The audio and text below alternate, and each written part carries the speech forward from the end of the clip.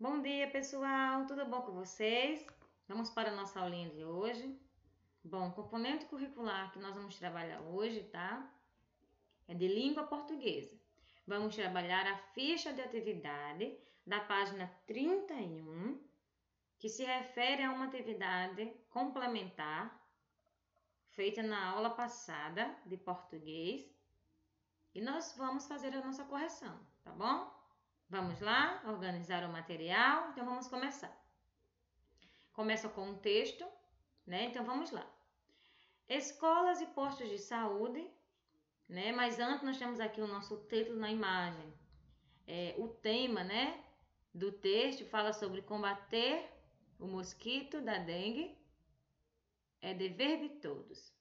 Aí nós temos escolas e postos de saúde da comunidade rural paraense de Tracoatel decidiram unir esforços para combater o mosquito transmissor do Zika. Levaram o problema para as salas de aula e transformaram estudantes em agentes de mudança. Tracoateua é um dos municípios da Amazônia que participam do selo Unicef, município aprovado, uma iniciativa para melhorar as condições de vida das crianças e dos adolescentes no semiárido e na Amazônia Legal brasileira. Então a gente consegue perceber aqui pelo texto que fala sobre é um texto de conscientização, né, de combater o mosquito da dengue. O que se fazer, né? Tanto que nós, na imagem aqui que mostra o tema do, do texto, eles vêm segurando aqui um cartaz onde mostra o que pode ser feito, né? Para combater, por exemplo, lixo amarradinho, manter as lixeiras sempre fechadas, né? evitar água parada e assim entre outros. Aí nós temos as questões. 1. Um, responda. Qual é o tema da campanha? A gente acabou de ler. Né? Então, o tema da campanha é Combater o mosquito da dengue é dever de todos. Na questão do número 2, o que as crianças usaram para falar a respeito do tema? Então, elas usaram né, cartazes e infográficos. Lembrando que os infográficos são aqueles tipos de texto que a gente coloca sempre numa sequência com imagens, né? Então, continuando. Na C, quais elementos foram utilizados no cartaz da campanha? Texto, desenhos ou infográficos. Então, foram utilizados, né, texto e infográficos, tá certo? E na página 32, pedia para vocês fazerem é, um cartaz. Então vamos lá. Você sabia que os canudos de plástico que usamos para tomar refrigerantes, sucos, etc., podem matar as tartarugas marinhas?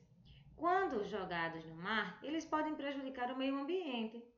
Aí vocês vão fazer iriam ter que fazer uma pesquisa a respeito. Aí depois façam cartaz para a campanha de conscientização para o não uso dos canudos descartáveis. Espero que vocês tenham respondido. Bem bonito, tá? Aí vocês fazem a pesquisa. Não precisa ser uma pesquisa muito longa, tá, gente? Mas que vocês saibam aí o perigo que isso pode causar para o meio ambiente. Então, agora nós vamos para o nosso livro. No nosso livro, vamos trabalhar a página 56. Então, por favor, vocês coloquem aí na página 56. E vai falar sobre alguns é, gêneros textuais que falam de publicações, anúncios, tá? Aí nós temos nosso primeiro aqui, ó, que é as campanhas de vacinação.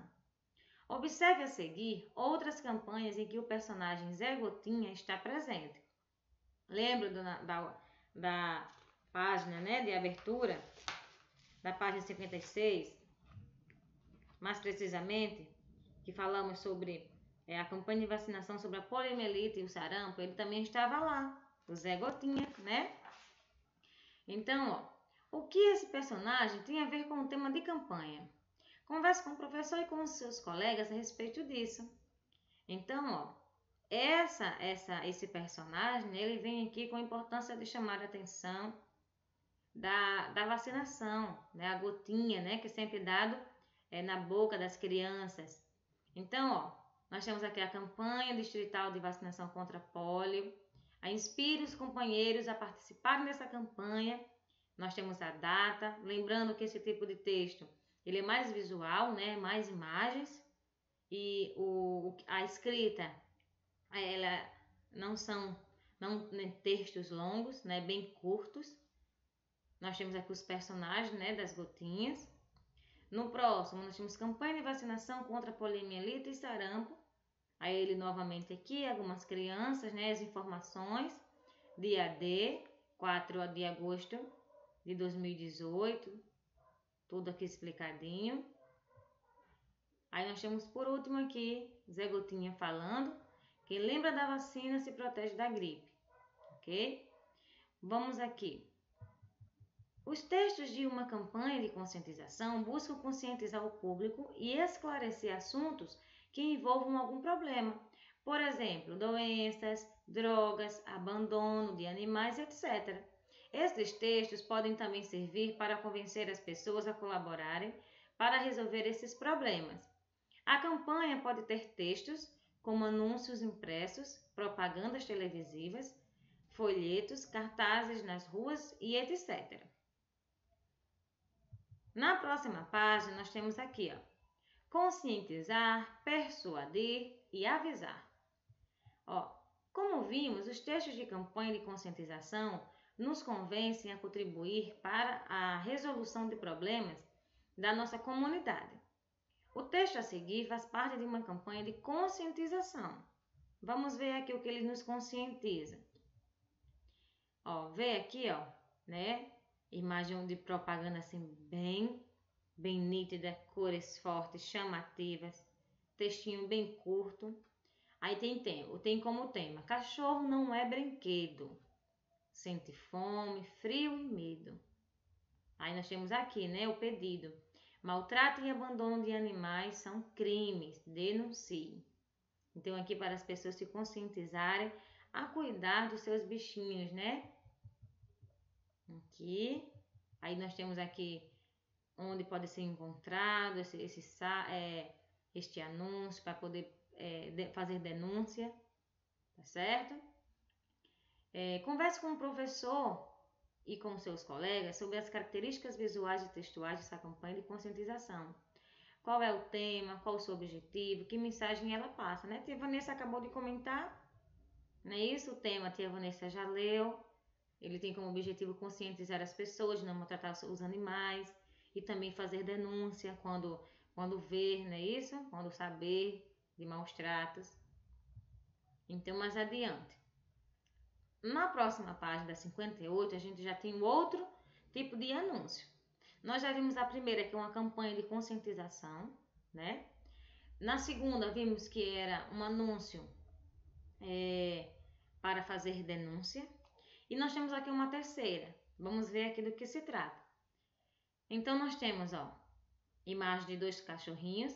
Diferentemente do outro, isso aqui não é de maus tratos. Isso aqui, isso aqui já fala de propaganda ó, de uma marca, né? É, de pet shop. Da Madre Pet Shop aqui, né? Que trata bem os cachorros, que, que dá banho, faz a tosa. Né? Isso tem o objetivo de é, fazer a propaganda para vir, né? Animais para esse pet shop e fazer esses cuidados nesses animais. Aí bem aqui do ladinho, ó, no círculo vermelho, nós temos bem grande o que eles fazem. Banho mais tosa higiênica a partir de R$19,90. Grátis uma hidratação. Então, essa aqui é diferente lá da campanha para denúncias e maus tratos, né? Então, na sequência, propaganda explicando aqui, é um gênero publicitário que tem como objetivo vender um produto, uma ideia, um serviço, etc. A propaganda que você viu, diferentemente da campanha de conscientização, tem como objetivo convencer as pessoas a utilizar o serviço de um pet shop. Não é isso? Então vamos mais adiante. Na publicidade, anúncios publicitários, cartazes e propagandas de todos os tipos aparecem no nosso cotidiano, no nosso dia a dia. Nas TVs, na internet, quando a gente sai nas ruas, o que a gente vê é propagandas, anúncios publicitários. É, eles têm sempre a intenção de mudar o comportamento do leitor, comprar algum produto ou tomar alguma atitude, por exemplo. As propagandas podem ser benéficas quando nos informam sobre temas importantes, como no caso das campanhas de vacinação. Porém, elas também podem nos induzir a comprar e consumir produtos poucos necessários, né? Então, aí alguns objetivos de algumas propagandas. Para que as empresas não anunciem vantagens que não existem nos produtos que vendem, existem leis que protegem o consumidor. Assim, a propaganda que engana ou ofende é proibida por lei. Aí observe agora outro tipo de texto, na página 59. Olha só, a gente consegue observar aqui, gente, que são textos não verbais, né? E observar também os textos verbais, ok? Ou quer dizer, textos que a gente que nos mostra, nos mostra mais a questão visual, né? Nós temos, nós temos é, é a escrita aqui, temos, né? Mas o que chama mais a, nota, a nossa atenção é a imagem, não é isso? Aí, feira de adoção. Olha só aqui esse tipo de anúncio. Então, ó, grande rio e, pro, e projeto entre pegadas. Então, já é um anúncio, né, para pessoas que gostariam de adotar os bichinhos, né, animais. Nós temos aqui a data, o local, aí shopping grande, né, rio, acesso aqui, dá todas as informações entrada franca. Aí aceitamos doações de rações para cães e gatos, é, caminhas, casinhas e cobertores, produtos e material de limpeza, medicamentos na validade. Então, tudo aqui há um local né, onde protege os animais, tá? Ótimo. Nós temos outras informações aqui. Para adotar é necessário, né? Daqui algumas informações do, de quem deseja adotar um, um, dos bichinhos, é necessário levar essas documentações. Tá bom? Então, nós temos aqui, ó, não pode adotar. Não pode adotar? Visite-nos e descubra outras formas de ajudar, né? Se não pode adotar, mas também pode levar coisas, né, para poder ajudá-los. Aí, avisos, né? Então, esse tipo de texto já é um aviso. Então, são textos ligados a alguma instituição. Eles comunicam às pessoas a respeito de algum evento, dando informações como data, horário, local, quem está organizando, preço, o que será a atividade, etc. Tá certo? Então, vamos abaixo, no nosso mão na massa. Com o professor e com seus colegas, identifique qual é o tema dos textos a seguir. Depois, escreva o comportamento. É, escreva que comportamento esses textos querem é mudar. Então, qual é o tema?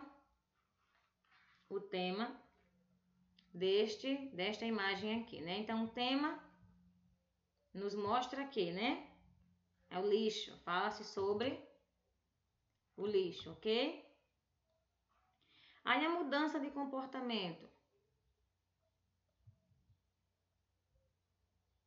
O que ele quer dizer? O que ele quer nos mostrar essa imagem? Não jogar o lixo no chão. Não é isso? Não jogar lixo no chão.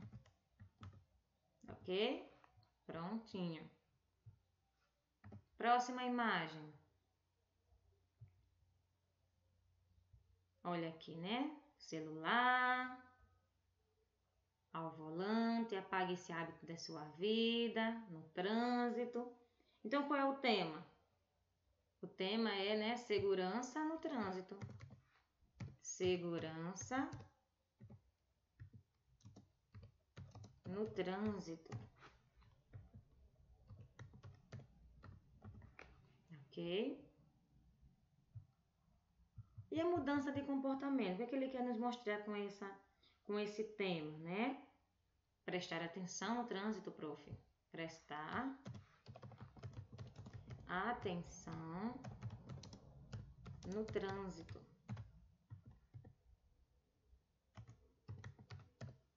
Certo?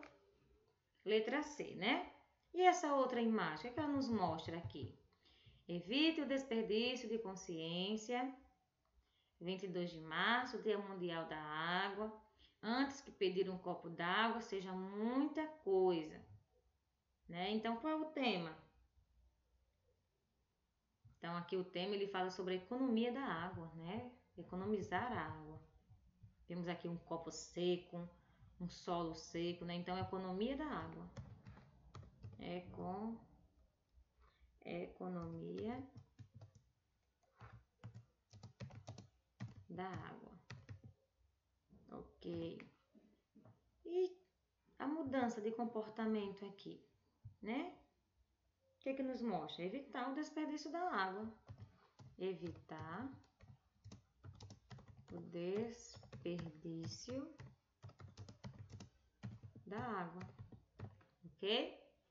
Bom, meus amores, essa é a nossa atividade, tá bom? De português. Espero que vocês tenham gostado.